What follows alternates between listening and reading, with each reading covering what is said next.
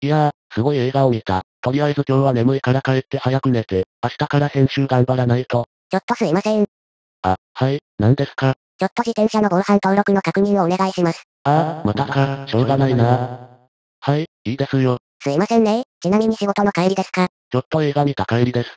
へえ、どんな映画を見たんですか？えっと、ジョーカーって映画なんですけど、ああ、あれですか？どうでした？まあ、面白かったです。警察官とか襲いたくなる映画でした。ははい、どうも皆さんこんにちは。ゆっくりのレイムです。えー、っと、うぷ主、いろいろ言いたいことがあるのはわかるけどちょっと落ち着こうか。何を言ってるんだいレイムさん。僕は落ち着いてるよ。ただ何もしてないのに職質された挙句にああいう無神経な質問をされてムカついてるだけだよ。やっぱり怒ってるじゃん。いやわからなくもないんだけどね。それだけ色々と危ない映画なのは間違いないし、でもここまでストレートに言われると喧嘩売ってんのかこいつってなるでしょ。まあ、気持ちはわからんでもない。っていうかうぷ主ってなぜかよく防犯登録確認されるよね。ほんとだよ。僕がそんなに自転車泥棒みたいな顔に見えてるのかね。警察の人も仕事だから仕方ないとは思うけど、職質をかけられた以上少なからず疑われているという嫌なイメージを与えるんだから、少しぐらい気を使えよって思うんだよね。っていうかその警官の人、割と映画好きの人なんじゃない？かもね。だとしたらなおさらそういうこと聞いてくるのはどうかと思うけど、まあ、その人も悪意があったわけじゃないだろうし、あんまり根に持つのもあれじゃん。そうだね。僕もこうやって動画で愚痴るのもどうかとは自分でも思ってるけどさ、僕も人間だからね、どこかでぶちまける場所が欲しいんだよ。うぷ主ぼっちだから愚痴を聞いてくれる人もいないしね。それは言わないお約束だよレイムさん。はい、動画冒頭からうぷ主の愚痴を聞かせてしまって申し訳ありません。こいつも色々とかわいそうなやつなんで許してあげてね。それじゃあすっきりしたところでそろそろ始めましょう。了解。今回紹介する映画はこちら、ジョーカー。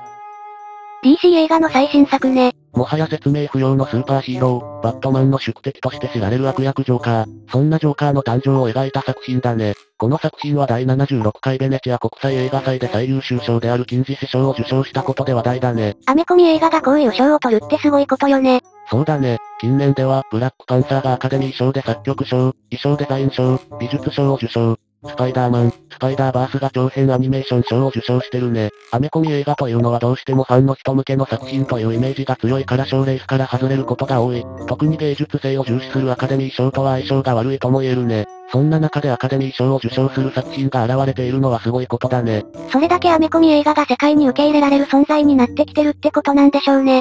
そうだね。特に、アイアンマンとダークナイトが公開された2008年以降のアメコミ映画の進歩は凄まじい。ダークナイトはアメコミ映画で初めてアカデミー賞を受賞した作品だし、アイアンマンから始まったマーベル・シネマティック・ユニバースも、アメコミの実写化としても映画のユニバース化としても数多くの不可能を可能にし、今や世界最大の人気を誇るシリーズになっている。昔は年に1本あるかないかだったアメコミ映画が、今となっては年に数本ペースで公開されるほどの勢いをつけてきている。今、映画界は大アメコミ映画時代となっていると言っても過言ではないと思う。こんな時代が来るなんて10年ぐらい前までは想像もできなかったでしょうね。そんなアメコミ映画時代、近年ではヴィランのキャラクターにも注目が集まっている。アベンジャーズのサノスやブラックパンサーのキルモンガー、魅力的なヴィランキャラクターも次々に生まれている。ちょっと前まで MCU も人気のあるヴィランはロキぐらいだったもんね。そうだね。フェーズ2あたりまでは MCU のヴィランはやられ役という印象もちょっとあった。そんな中でヴィランにも力を入れてきているのは、ヒーローたちが十分に人気を獲得したという自信があるからなんじゃないかな。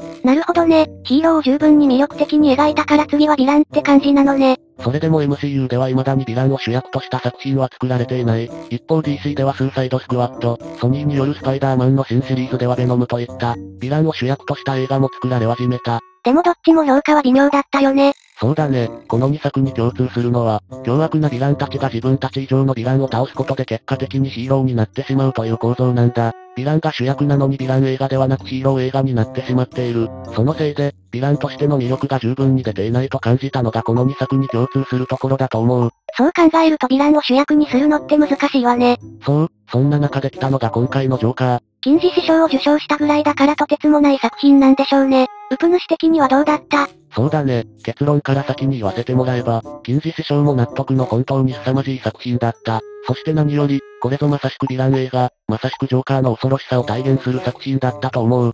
それはすごいわね。これはかなりのおすすめ作品ってことよね。うーん、それがそう単純な作品ではないんだよね。え、すごい傑作なんでしょ？何か問題でもあるの？確かにこの映画はとてつもない傑作と呼んでいいと思う。でも、同時にとても危険な作品でもある。この作品の圧倒的なリアルさが見た人に悪影響を与えるんじゃないかと警戒されているんだ。実際、アメリカではこのジョーカーの公開からかなりの限界体制をとっている。向こうでは同じバットマン映画のダークナイトライジングで上映中に銃の乱射事件が起きたことがあるからなおさら警戒するだろうね。ああ、この時の犯人がジョーカーを名乗ってたって聞いた気がするわ。ヒースレジャー版のジョーカーも凄まじいキャラクターだったからね。それだけジョーカーというキャラクターが現実に与える影響が大きいんだろうね。ダークナイトも今回のジョーカーもリアル描写がすごい作品だからこその影響力なんだと思う。だからさっきのおまわりさんがああいうことを聞くのもわからなくはないんだよね。日本でも警戒してるのかな？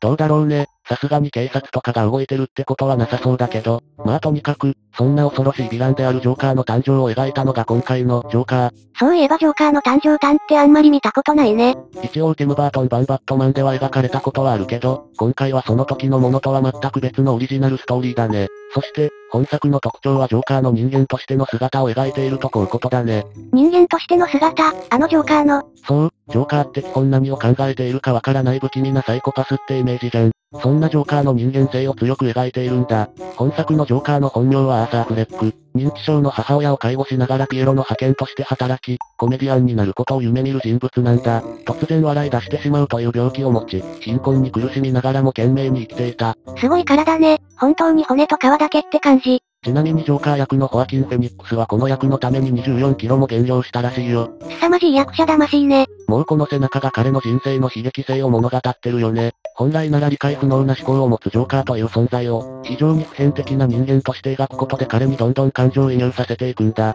そして、そんな彼が社会によって追い詰められ、全てを失いジョーカーとして覚醒していく。その描写の一つ一つの生々しさがよりジョーカーへの感情移入を加速させていく。これがとても危険なんだ。この作品が描いているジョーカーはまさに格差社会に対する怒りであり、ジョーカーのような人々の怒りを解き放ってしまう危険性があるんだ。なるほど、それでそんなに警戒されているのね。そして、それをより高めているのが主演のホアキン・フェニックスの圧倒的としか言いようのない演技力。彼の表情、一つ一つの細かい仕草、狂気的なものを感じさせる笑い方、とにかく彼の出てるシーンの全てが素晴らしいし恐ろしい。彼なしではこの映画は成り立たなかったと思う。そんなホアキン・フェニックスによって本作のジョーカーは圧倒的なカリスマ性を得ているんだ。それだけカリスマ性があると影響を受ける人が現実にいてもおかしくない。なるほどね。これだけ警戒されるのも納得かも。でも、これこそがジョーカーというキャラクターの最も恐ろしい本質なんだと思うんだ。ダークナイトのジョーカーは善人の仮面をひっぺがし、その本性をむき出しにするようなヴィランだったのに対し、本作のジョーカーは世間に押さえつけられた人々の怒りを解き放つ存在。格差の下の人間のことなんか何も知らない上の人間たちが法律という一方的な正義で押さえつけてくるという現実。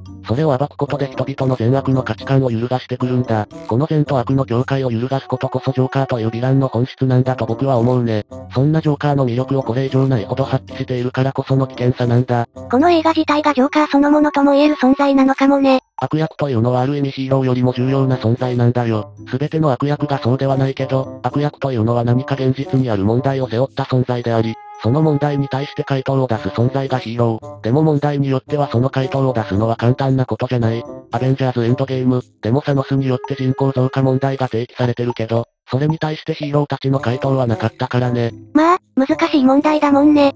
そう簡単に答えは出せないよね。そして、このジョーカーにはヒーローはいない。ジョーカーが出した問題を我々観客に本当に直接投げかけてくる。これこそがヴィラン映画なんじゃないかな。まあ、ちょっとカッコつけちゃったけど、いろんな解釈や見方のできる作品なのは間違いない。単純に映画としてもとてつもないクオリティの作品だし、バットマンファンも楽しめる要素もたくさんある作品だよ。バットマンやジョーカーをあんまり知らなくても大丈夫。全然問題ないと思うよ。個人的には次のザ・バットマンがどうなるのかすごく気になるね。このジョーカーに対してバットマンがどんな回答を見せるのか、監督は確か、猿の惑星のマットリーブスだよね。そうだね。猿の惑星もかなりの傑作だからすごく楽しみだよ。これって、ジョーカーの続編とかになるのかな？